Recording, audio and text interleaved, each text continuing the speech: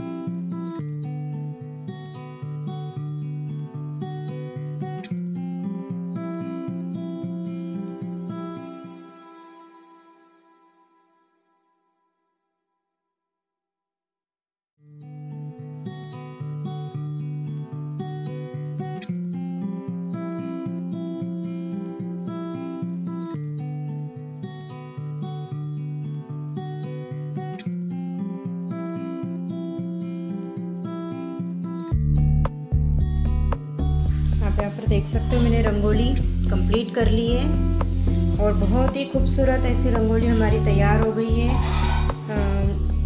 तुळजापुर की देवी तुळजा भवानी माता की ये रंगोली मैंने निकाली हुई है।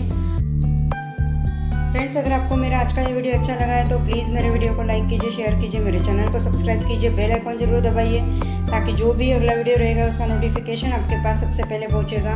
और अगर पहली बार आप मेरा वीडियो देख रहे होंगे तो वीडियो के नीचे रेड कलर में सब्सक्राइब करके लिखा हुआ रहता है, उसको ज़रूर प्रेस कीजिएगा। और बेलाइकॉन को भी थैंक यू सो मच